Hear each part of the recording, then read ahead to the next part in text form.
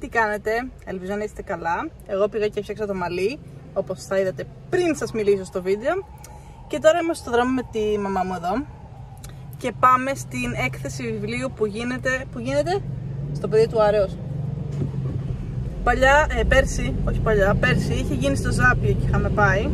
Ε, φέτος γίνεται στο παιδί του Άρεος και επειδή είναι η θεία μου εκεί, πάμε να την τιμήσουμε με την παρουσία μας. Γιατί είναι τιμή της. Έχει πολλή κίνηση το μεταξύ, δεν ξέρω τι περνάει ο κόσμος και είναι όλοι έξω. Αλλά ναι, τα λέμε όταν φτάσουμε στο, πήγα να πω στο Ζάπιο, στο παιδί του Άρεος όταν φτάσουμε.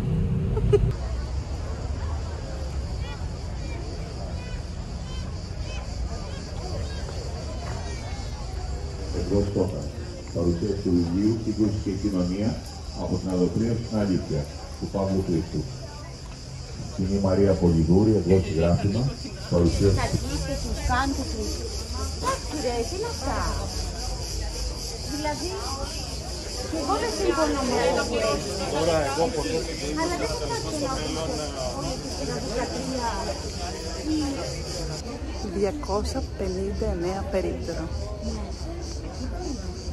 Και όλα για κάτι διαφορετικό εντελώς. Δηλαδή, κάποια έχουν εκπαιδευτικά, κάποια έχουν πληθυστικά, τέτοια πράγματα. Αυτό. Από δέξιμα. Εν τω μεταξύ, πόσες εκδόσεις που δεν τις ακούς, αλλά έχουν τόσο ωραία βιβλία. Έχω σταματήσει να δώσω δύο-τρεις πάγκους. Ειλικρινά, τι ωραία βιβλία.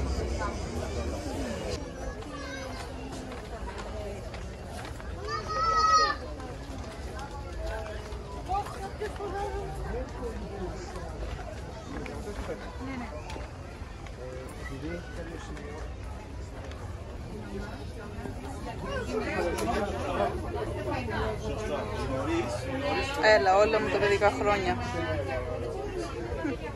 Και φτάσαμε στο περίπτερο της πνοής που είναι και ο εκδοτικός οίκος που έχει τα βιβλία η θεία μου και πάμε να σας δείξω λίγο το περίπτερό μας και τα βιβλία της θείας μου.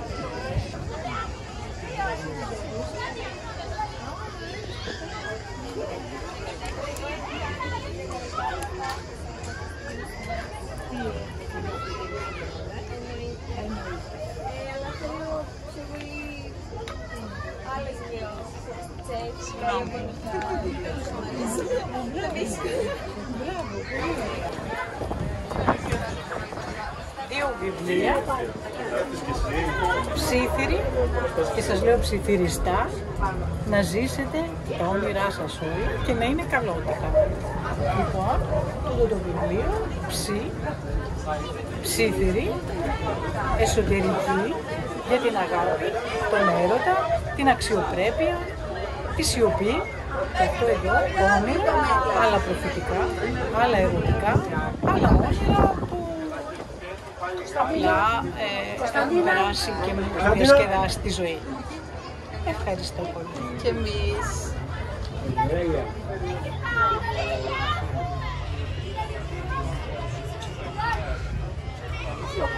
Πήρα καλαμπόκι. και κοιτάξτε, δεν είχα δει ότι έχει τέτοια, ε, τέτοιο περιτύλιγμα να το πω. Αλλά ναι, και είδα το καλαμπόκι απ' έξω και δεν κρατήθηκα, οπότε πήρα. Έχω να φάω πάρα πολλά χρόνια. Εντάξει, κοιτάξτε λίγο πόσο αλάτι έχει βάλει. Δηλαδή, ναι. Αλλά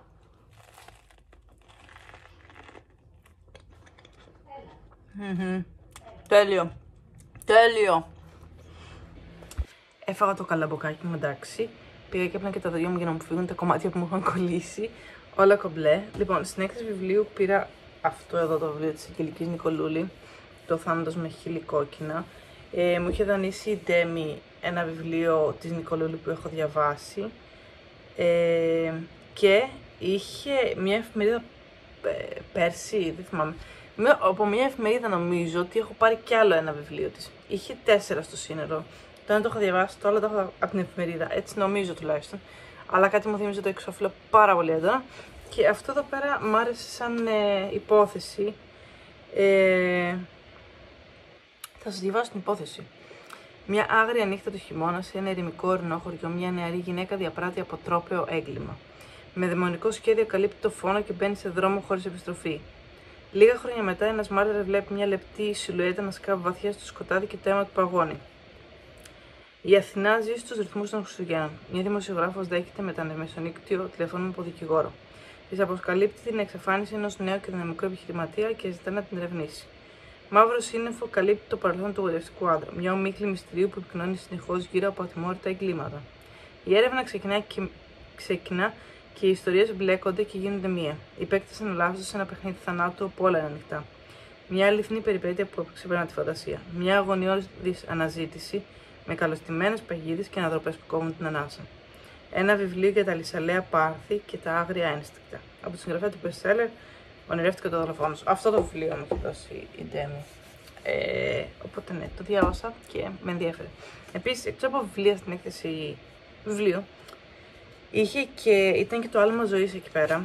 Ε, και με ενημέρωσαν ότι θα γίνει ένας μαραθώνιος αρχές Σεπτέμβρη που ε, ε, είναι ο μεγαλύτερος συμβολικός αγώνας δρόμου και περίπατος ενάντια στον καρκίνο του μαστού στην Ελλάδα. Μου έδωσαν ένα φυλάδιο το οποίο έχει οδηγίες ε, για το μαραθώνιο και έχει και εδώ πέρα μια λίστα με προγράμματα του Συλλόγου Άλμα Ζωής που έχουν χρηματοδοτηθεί από την Greece Race for the Cure.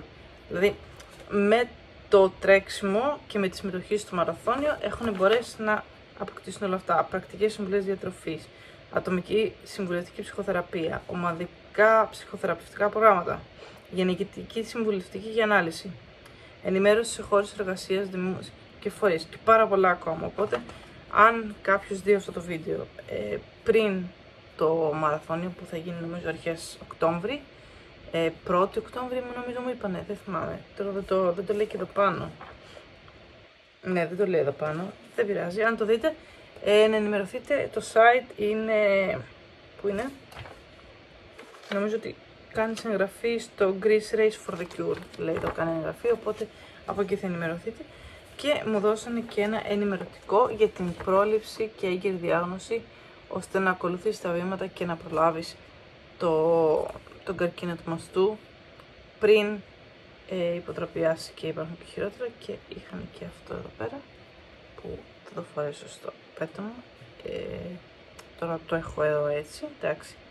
Αλλά ναι, Οπότε αυτά από την έκθεση βιβλίου. Αυτό που θέλω να πω είναι ότι, νομίζω το είπα και στο βίντεο, ότι υπάρχουν τόσο, τόσοι πολλοί εκδοτικοί που δεν τους γνωρίζουμε γιατί δεν είναι αρκετά γνωστοί, αλλά έχουν τόσο ωραία βιβλία και απορώ γιατί δεν είναι αρκετά γνωστοί. Δηλαδή, σταμάτησα σε κάποιους ε, και κοίταζα τα βιβλία γιατί αρχικά είναι πολύ περιποιημένα. Είχαν πολύ ωραία stand και τα βιβλία τους στα εξώφυλλα και όλα αυτά είναι πάρα πολύ ωραία. Αλλά σε κάποια που μου τράβηξαν τα, το μάτι, Κάσα και διάβασα και τις περιλήψεις. Εμένα είμαι πιο πολύ του αστυνομικού, λογοτεχνία και τέτοια πράγματα. Οπότε διάβασα αυτά. Τους ρώτησα αν έχουν κάτι σε τέτοιο, ε, σε τέτοιο είδος και μου δείξαν και διάβασα. Και έχει πάρα πολύ ωραίες ε, περιλήψεις. Εμένα δηλαδή κάποια δύο-τρία με εξετάραμε πάρα πολύ και ήθελα, αλλά δεν μπορούσα εντάξει, οικονομικά να πάρω από όλους. Αλλά ναι, μου έκανε μεγάλη εντύπωση που είναι τόσο αφανή. Σε, δηλαδή, πρέπει να ξέρεις τον εκδοτικό οίκο κάποιον συγκεκριμένο συγγραφέα για να ξέρεις ότι... Αλλά είναι μια ωραία εμπειρία, δηλαδή μαθαίνεις πολλά, βλέπεις ε, κόσμο που είναι και αυτός παθιασμένος με την τέχνη. Είχαν και κάποιες εκδηλώσεις που μιλήσαν συγγραφείς πάνω σε συγκεκριμένα θέματα. Ήταν πάρα πολύ όμορφο.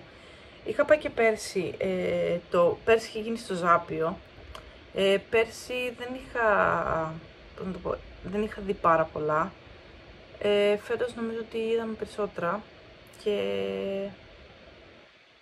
δεν ξέρω, νομίζω ότι φέτος η έκθεση μου άρεσε παραπάνω. Μ' άρεσε περισσότερο ο χώρος, το παιδί του άρεσε, ήταν πιο μεγάλος, ήταν πολύ ωραία τα stand, είχε ωραίες εκδηλώσεις σε πάρα πολύ ωραία θέματα. Από τις προάλλες είχε μια εκδήλωση στο θέμα της γυναίκας. Ήταν πάρα πολύ ωραία. Μίλησε και η θεία μου στην εκδήλωση για το βιβλίο. Δεν θυμάμαι αν ήταν για βιβλίο ή αν ήταν για ημερίδα πάνω στη γυναίκα, αλλά μίλησε η θεία μου τις προάλλες. Ε, Αυτά νομίζω. Αυτά. Ε, να πω ότι το βιβλίο της θείας μου κυκλοφορεί τις εκδόσεις πνοή, όπως είδατε και στο βίντεο. Ε, και αν θέλετε να το αγοράσετε μπορείτε online από τις εκδόσεις πνοή ή από τα συνεργαζόμενα καταστήματα. Αυτά. Ελπίζω να σας άρεσε το σημερινό βίντεο. Θα ήθελα να μου πείτε τι είδους βιβλία σας αρέσουν και αν έχετε κάποιο αγαπημένο ποιο είναι αυτό αν έχετε πάει σε έκθεση βιβλίου, αν θα θέλατε να πάτε.